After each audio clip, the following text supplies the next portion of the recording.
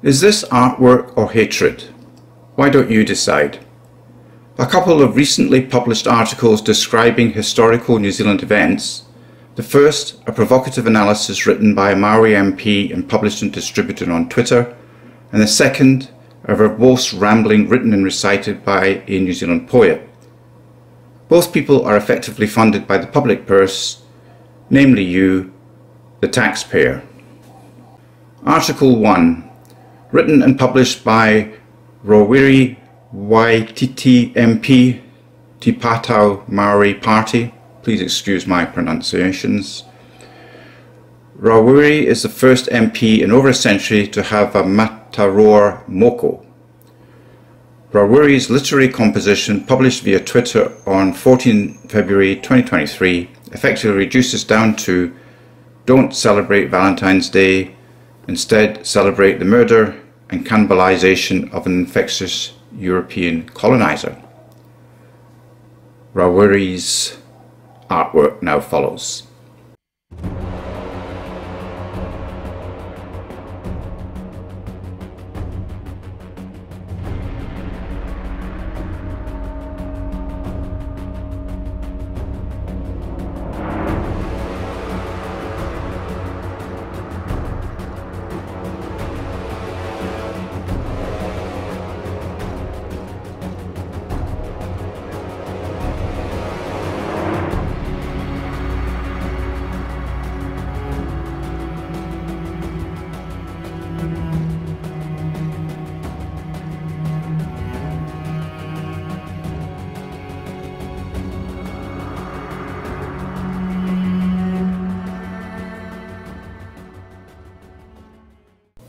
Article 2, written and recited by Tusiata Avia.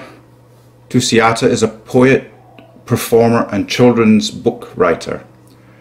I'm not sure if Tusiata's poem is written for children or if it carries a restricted rating, but her ramblings will be presented at the Auckland Arts Festival. Tusiata's artwork now follows. 250th anniversary of James Cook's arrival in New Zealand.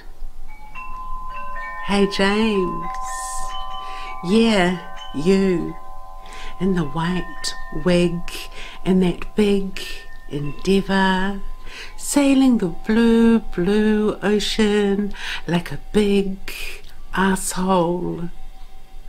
Fuck you bitch. James, I heard someone shoved a knife right up into the gap between your white ribs at Kealakekua Bay.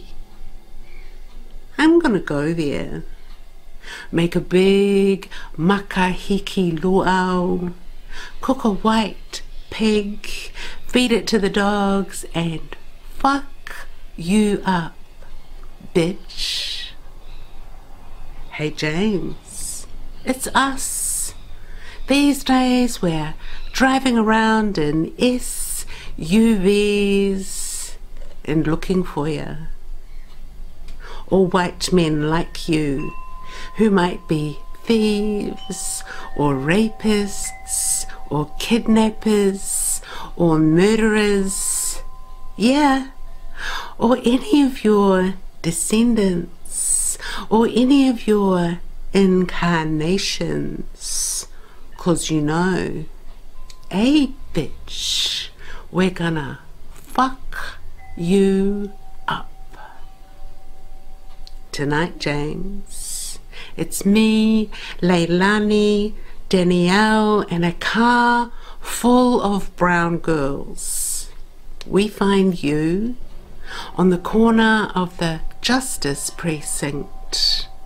You've got another woman and a headlock, and I've got my father's pig hunting knife in my fist. And we're coming to get you.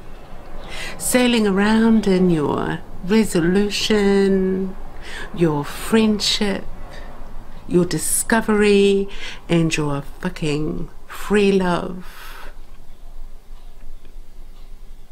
Watch your ribs, James. Cause I'm coming with Kalani o Pu'u, Kane Kapolei, Kana Ina, Ke Awe Kula Ili Moku, who is a god, and Nua'a, who is king with a knife. And then, James, then we're gonna fuck you up for good, bitch.